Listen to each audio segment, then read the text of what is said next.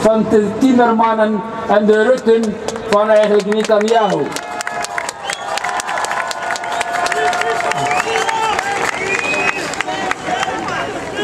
En ook dan, helaas, zullen wij moeten zien dat er bloed gaat vloeien, dat er veel Palestijnen eigenlijk in ziekenhuizen terechtkomen, et cetera, et cetera.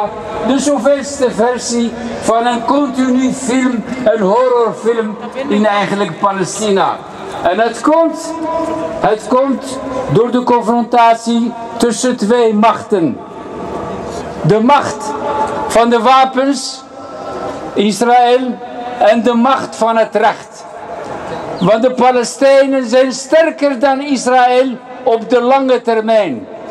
En Israël zal, Israël zal Gaza 1, en Gaza 2, en Gaza 3, en Gaza 4 winnen, etc. Uiteindelijk zal Israël op de knie gekregen worden. Uiteindelijk zal Israël met de start tussen de benen